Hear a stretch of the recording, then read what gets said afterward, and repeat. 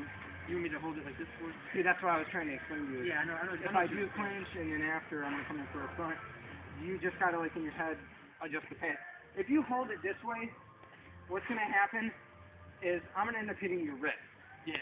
because it's not. Come up Yeah. like this. You know. Oh, let's do the knees like this though. I get used to. Alright. So you can do a throw. Whoa, one thing. I don't like that shit the way it is. I like it like this. That's cool. Just remember Yeah. to hold it up Let's try. next time, okay?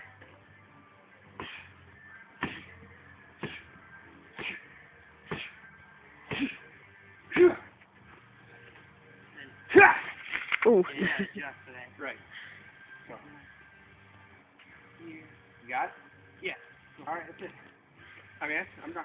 You know? Yeah.